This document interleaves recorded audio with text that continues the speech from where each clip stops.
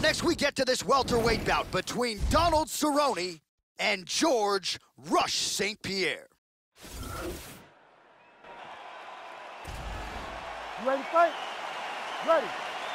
All right, ready to go with live action here from Scotiabank Arena in Toronto, Ontario.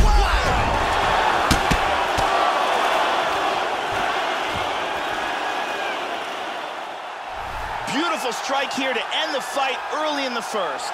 Yeah, we're just getting going, and now the fight's over, but excellent striking technique to land that shot and ultimately finish the fight here in the first. You've heard us say it before, but sometimes when you catch a guy cold before he's had a chance to get going in the fight, it can have a bigger effect. It certainly did here tonight. Check out this angle here. And he's out. All right, let's go inside the octagon where Bruce Buffer has the official decision. Ladies and gentlemen, referee Herb Deans called a stop to this contest at eight seconds of the very first round, declaring the winner by knockout,